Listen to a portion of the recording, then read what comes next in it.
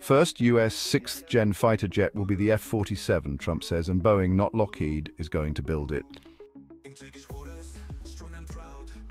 Boeing has been selected to build the US Air Force's 6th gen fighter aircraft.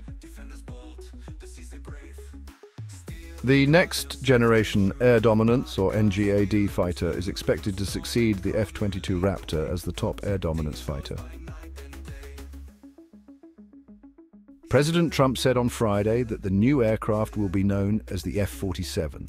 The way forward for the US Air Force's mysterious sixth-generation fighter aircraft is clearer.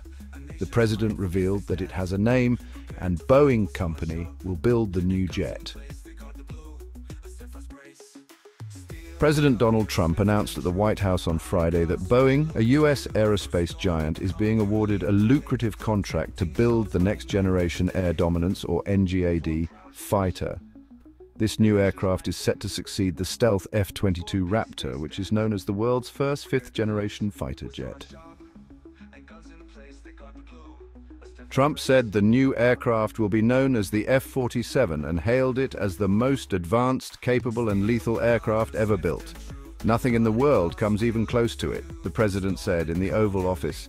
The NGAD is expected to succeed the Lockheed Martin manufactured F-22, which entered service two decades ago as the Air Force's top air superiority fighter. It will be built to operate alongside drones. The program is considered a family of systems and is expected to work with uncrewed collaborative combat aircraft, or CCA, that function as semi-autonomous loyal wingmen for the new aircraft.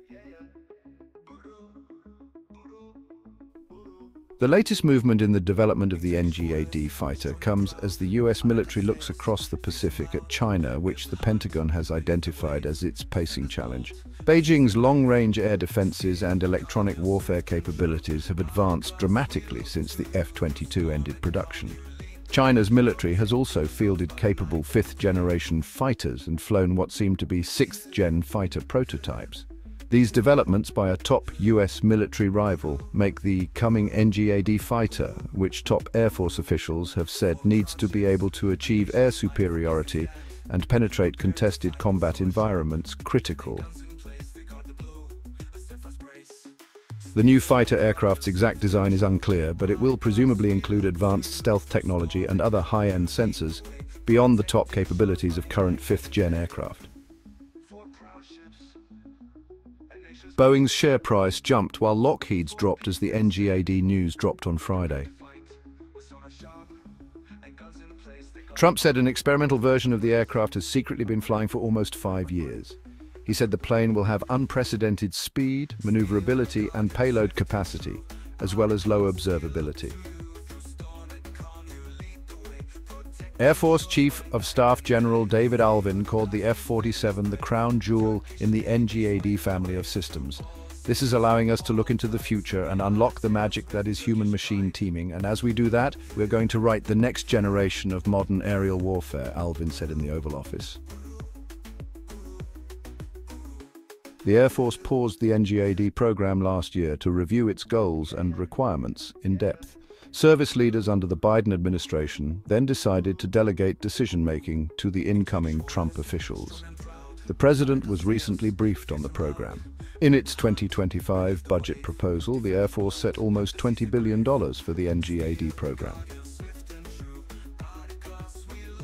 Boeing and Lockheed previously competed for the U.S. military's Joint Strike Fighter program, with Lockheed's X-35 edging out Boeing's X-32 for the contract.